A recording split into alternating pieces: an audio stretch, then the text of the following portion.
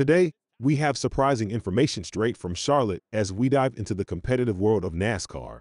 Former Joe Gibbs racing driver, Kyle Busch, recently shared his words of wisdom for Xfinity driver John Hunter Nemechek, who has his sights set on a seat in the prestigious Cup Series. Let's uncover the harsh truth and financial barriers that talented drivers face in this exhilarating sport.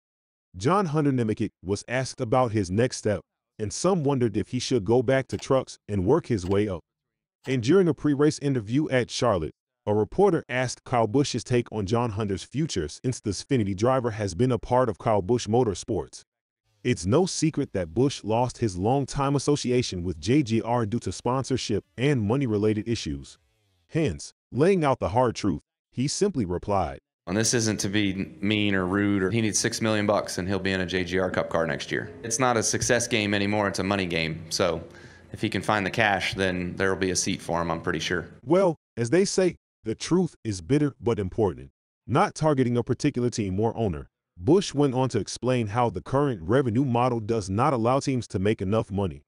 Claiming that there is no other way than to have good funding behind a driver, Busch said that team owners are not making enough money they are willing to invest in their talent pool. To support his case, the Richard Childress driver agreed that the same applies to his seven-year-old son Brexton Busch.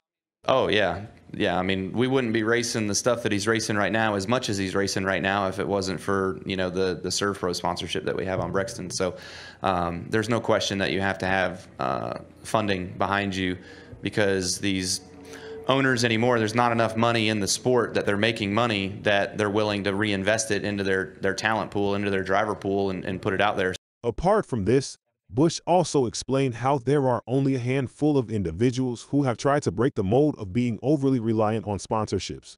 Naming Kyle Larson and HMS owner Rick Hendrick, he added that he is glad to have some very good sponsors backing him up at RCR this season. It seems the racing world has transformed into more than just skill and talent. Financial backing has become a pivotal factor for up-and-coming drivers. As Kyle Busch highlighted, the costs associated with securing a seat in a top-tier team are immense. Young talents like John Hunter must grapple with the challenges of securing substantial financial support to progress in their racing careers. This financial burden extends not only to the Cup Series but trickles down to lower divisions as well. Although at the same time, it's worth acknowledging the individuals like Kyle Larson and Rick Hendrick who have dared to challenge the status quo. Their commitment to nurturing talent, irrespective of financial constraints, is an inspiration to the racing community. That's all for today's episode of NASCAR In and Out on Essentially Sports. Join us next time as we bring you more thrilling stories from the track.